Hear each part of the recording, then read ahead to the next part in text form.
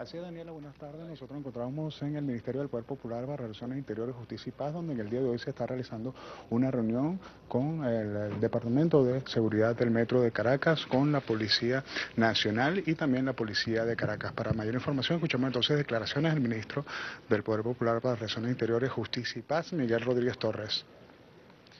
Sí, buenas tardes a todas y a todos. Eh, hemos estado aquí desarrollando una reunión con el ministro de Transporte para abordar varios temas relativos a la seguridad ciudadana en el que debemos necesariamente trabajar en equipo. Pero antes de tocar los dos temas de la reunión, eh, quiero informarle a las venezolanas y los venezolanos que hoy en la Plaza Altamira, el Comando Regional 5 de la Guardia Nacional capturó a cuatro menores de edad, entre 16 y 17 años, eh, que portaban en sus bolsos bombas molotov, eh, guantes de carnaza, máscaras antigás, clavos y todos los implementos propios de los que hemos llamado los guarimberos, que tenían las intenciones con otro grupo de jóvenes de trancar avenidas en el este de Caracas como parte de un intento eh, fallido de volver a eh, perturbar la paz de los venezolanos en el este de la ciudad. Nosotros tenemos equipos de inteligencia desplegados en la ciudad, monitoreando con la Guardia Nacional Bolivariana, de la Guardia del Pueblo, de la Policía Nacional, del 6CPC, porque sabemos que hay un elemento por ahí, un movimiento llamado Movimiento Resistencia Venezuela, que ha tratado y está tratando de desplegar estos grupos en conjunto con gente de voluntad popular y otros grupos que ya tienen bastante experiencia en materia de la guarimba, pero no vamos a permitir pues, que la ciudad vuelva a entrar en esta especie de caos en el que intentaron involucrarnos en los meses, los, primeros meses de este año. Entonces, bueno, es importante que lo sepan, uno de estos jóvenes es reincidente, serán presentados ante, el, ante los tribunales por, y los fiscales en las horas subsiguientes y bueno, ya serán los tribunales los que decidan el destino de estos muchachos. Algunos de ellos tenía porciones de droga en su bolso. También serán llevados llamados los representantes de estos jóvenes y bueno, vendrá una investigación para ver quién está ordenando que estos menores de edad eh, vayan a perturbar la paz de los caraqueños. La reunión que desarrollamos el ministro Jaiman con todo su equipo del Metro de Caracas, eh, relativo a la seguridad del sistema metro y los cuerpos de seguridad eh, adscritos al Ministerio de Relaciones Interiores y a la Fuerza Armada Nacional Bolivariana, fue para tratar el tema de la seguridad de las estaciones del metro en la Gran Caracas. Hemos visto en los últimos días noticias de algunos incidentes y delitos que han ocurrido a las puertas del metro y en algunos casos a lo interno de las estaciones del metro. En ese sentido, revisamos las estadísticas, hicimos una apreciación de la situación que nos permitió observar que hay un crecimiento de usuarios en el metro en los últimos dos años aproximado al 25%. Eh, estamos transportando aproximadamente, según las cifras que aporta Jaiman, eh, 2 millones 200 mil personas diarias lo que es un número muy importante de ciudadanos que se desplazan por el sistema. Si a eso le sumamos que el, el, sistema de transporte público se ha ido expandiendo de manera acelerada en los últimos dos años también, con la incorporación del bus Caracas, la expansión de Metrobús, el Metrocable, es, un sistema de transporte público que se ha ido eh, exponenciando en calidad y en cantidad y la cantidad de funcionarios policiales que tenemos para el sistema, para la seguridad del sistema, que son apenas 360 funcionarios, no se da abasto para asegurar esas estaciones. En la cuenta que hemos sacado hoy, para poder tener seguridad permanente en todas las estaciones del metro, se necesitan aproximadamente mil policías nacionales para asumir el servicio de seguridad del metro de Caracas. En tal sentido, las próximas graduaciones de funcionarios de la Policía Nacional, eh, para el mes de diciembre pudiésemos ya contar con los mil funcionarios policiales para cubrir eh, de la mejor manera todas las estaciones del metro. Como no podemos esperar de aquí que se gradúen todos los policías nacionales a diciembre para mm, mejorar las condiciones de seguridad de los usuarios de este importante medio de transporte, vamos a tomar las siguientes medidas. En primer lugar, hemos eh, asignado ese eje del metro, esa línea que va desde la Rinconada hasta Ciudad Universitaria, la va a cubrir la policía militar, tanto las estaciones del metro como los puntos de control a las afueras de las estaciones en el marco del plan Patria Segura. Ya nosotros habíamos recogido de alguna manera parte de las unidades del ejército que están participando en Patria Segura porque el patrullaje inteligente nos permitió redistribuir la fuerza. Bueno, esa fuerza que hemos descansado por un tiempo retomará Patria Segura ahora en ese eje de las estaciones del metro.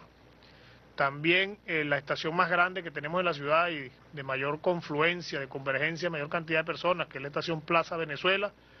eh, será asegurada por el Comando Regional de la Guardia número 5, será asignada a la Guardia Nacional, este, exclusivamente esa estación.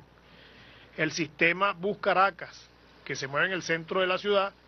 quedará asignado a la Policía de Caracas, tanto para trabajar el tema de la, del respeto a la vía exclusiva que se ha creado para el Bus Caracas, como para la seguridad de las estaciones que hay en todo el trayecto. Y el ahorro que nos permite de recursos humanos, de funcionarios, el asumir todas estas estaciones con otros cuerpos de seguridad, la Policía Nacional le permitirá reforzar el resto de las estaciones del metro de Caracas. Aunado a esto, eh, se está diseñando también que las estaciones del metro en muchas ocasiones sirvan de punto pivote o de, o de, plan, de punto de encuentro del patrullaje inteligente. O sea que como cada estación de esa está incluida en un cuadrante, bueno, donde hay una estación del metro va a ser un punto permanente de paso del patrullaje del cuadrante y entonces habrá un encuentro permanente entre el que está patrullando y el funcionario que está en la estación del metro para reforzar la seguridad, sobre todo en las horas pico donde mayor gente, mayor cantidad de personas circulan a través del sistema. También asistió a la reunión el director de tecnología del Ministerio de Relaciones Interiores porque eh, ya sabemos que el sistema de monitoreo de asistencia BEN 911, que ya inauguraremos ya full chola, full equipo en el mes de agosto para el municipio Chacao y el municipio Sucre, va a reforzar el sistema de cámaras interno y externo del metro de Caracas, ha colocado ya 30 cámaras en el Metrobús y todos los autobuses que ha traído eh, el Ministerio de Transporte cuentan ya con cámaras que van a ser sumadas al sistema de monitoreo y asistencia. En las estaciones del metro colocaremos una cámara que tiene el sistema de detección de personas solicitadas por el estudio biométrico, la detección biométrica del sistema, para que cuando una persona que haya cometido delito esté solicitada en el sistema CIPOL, ingrese a la estación del metro, sobre todo vamos a arrancar con Chacao y Sucre, todo ese eje del metro que va desde Chacao hasta Palo Verde, eh, las personas solicitadas que ingresen y sean detectadas por la cámara, inmediatamente el sistema podrá eh, lanzar la alarma para su respectiva captura. Y vamos a divulgar con apoyo de el ministro Jaiman y presidente del metro la información sobre los cuadrantes en todas las estaciones del metro, de manera que los usuarios de este sistema, de este importante servicio, puedan eh, conocer siempre que estén en una estación del metro en qué cuadrante se encuentran y a qué número deben llamar eh, desde ese momento que están en el, en el metro de Caracas. Esas son las medidas que temporalmente vamos a tomar hasta el mes de diciembre para que eh, en diciembre la Policía Nacional, con las nuevas graduaciones que están previstas de aquí a esa fecha, asuma con mil funcionarios la seguridad completa de las estaciones del metro. Igualmente, eh, la empresa Corpo Servica, adscrita al Ministerio de Relaciones Interiores, colocará en los cuartos técnicos, ¿se llama así, no? Cuartos técnicos, son cinco cuartos técnicos que van de la, del metro de los teques a las adjuntas, vigilantes de esa empresa para asegurar los bienes del metro que reposan en esos cuartos técnicos y que a veces afectan el funcionamiento del sistema. También asignaremos a la, policía de Guaycaipuro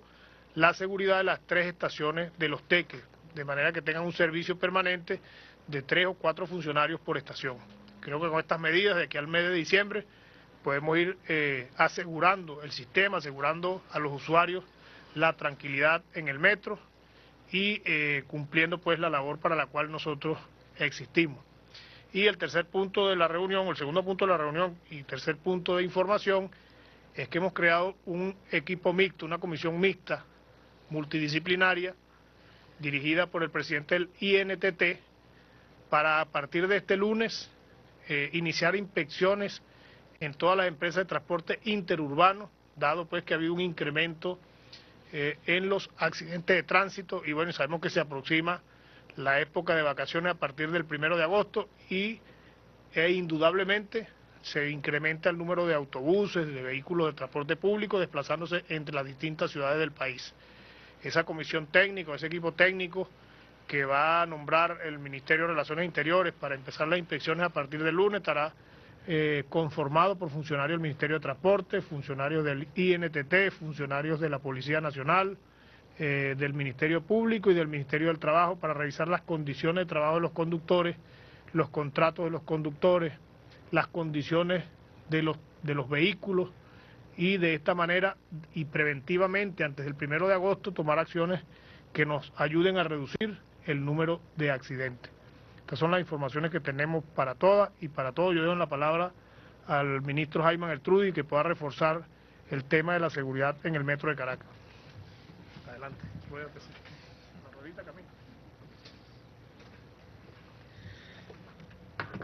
Gracias, Miguel. Bien, buenas tardes. En efecto, estamos mm, tomando medidas de vigilancia y de seguridad en todas las instalaciones del Metro de Caracas desde una visión compartida en tanto los organismos prestadores del servicio de seguridad como de quienes nos compete desarrollar la prestación del servicio propiamente dicho en el Metro de Caracas, pero también en la visión de involucrar a nuestros usuarios, quienes en definitiva tienen un rol muy importante que jugar, tanto en el cumplimiento de las disposiciones y normativas mm, propias del Metro de Caracas, como desde el punto de vista de la actitud de veeduría activa ciudadana ante situaciones que eventualmente puedan trastocar el normal desenvolvimiento del metro. Eh, medidas simples como las que tienen que ver con el estar alertas eh, con sus pertenencias al momento de ingresar a una estación del metro de Caracas. Medidas simples que tienen que ver con el estar observantes permanentemente del comportamiento del resto de los usuarios y de, las, de los llamados eh, que permanentemente hacemos a través de los parlantes del sistema mm, cuando se presenta alguna situación. O eh, la mm, denuncia a tiempo de situaciones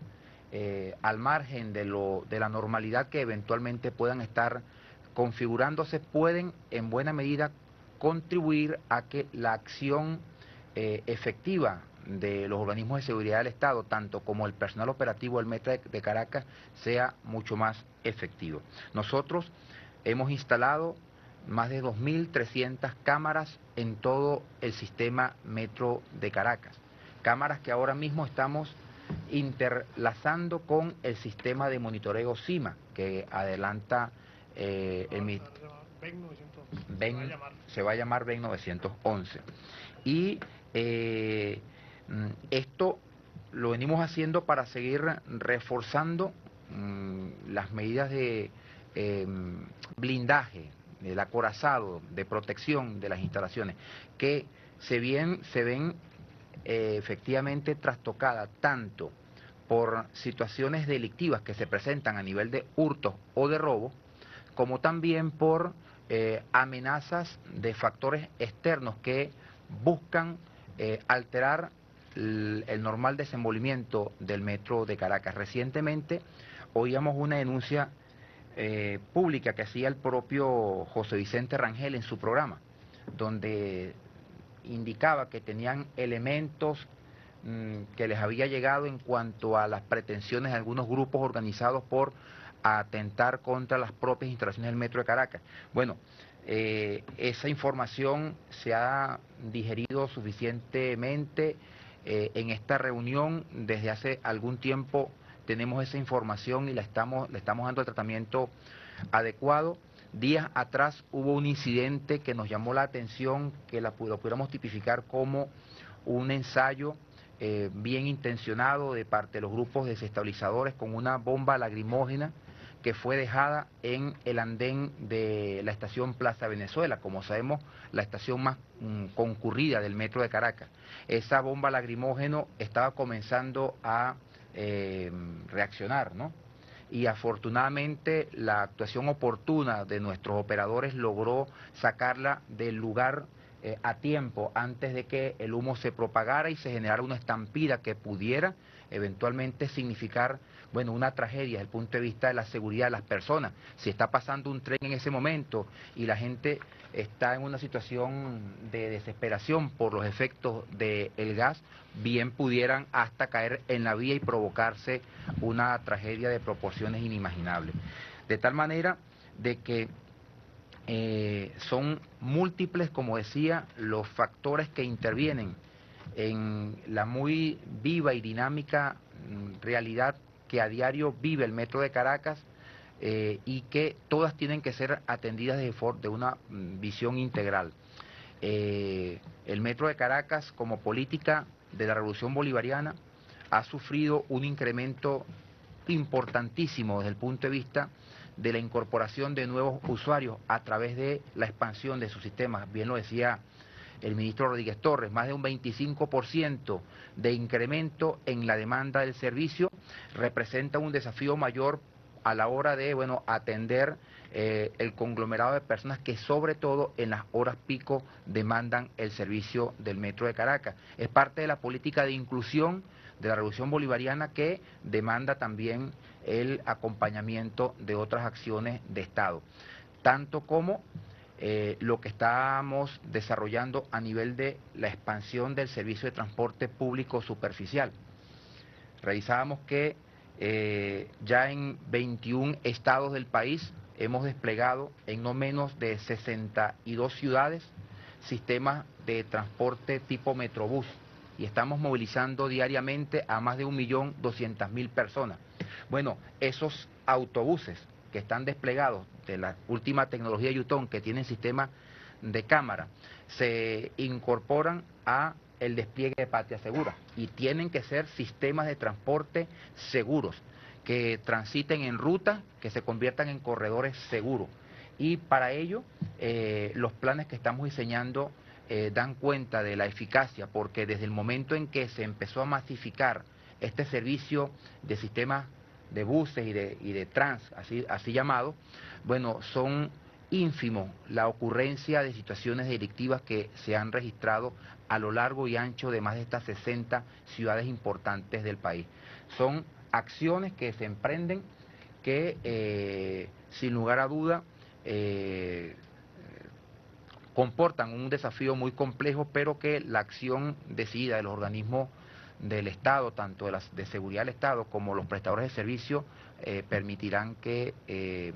el usuario, que es el que finalmente se beneficia con la prestación de servicio, lo haga de una manera tanto confortable como con precios justos como de forma segura.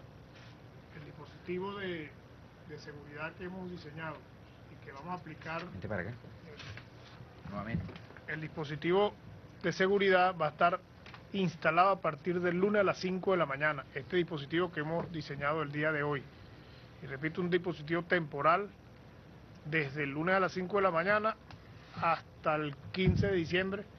que esperamos pues que la Policía Nacional ya tenga sus mil funcionarios para abordar todo el sistema metro de Caracas. Si hay alguna pregunta, algún periodista. Ministro, sí, quisiera preguntarle, eh, ministro Armada hace a las 2 de la tarde se refirió sobre unos nuevos planes de seguridad que se están instalando en este momento en torno a lo que es la emergencia de los hospitales. Si tienen ustedes entonces alguna ya estrategia. Sí, ya hay varios cuerpos policiales que tienen asignado un servicio, la Policía de Caracas, la Policía Nacional, inclusive la Guardia, servicios de seguridad, sobre todo en las emergencias de los hospitales, que es donde normalmente ocurren mayores impases, mayores situaciones. Eh, nos falta resolver el tema del hospital universitario. Habíamos convocado para hoy a la rectora de la Universidad Central y al director del hospital. Le hicimos una invitación a reunirnos,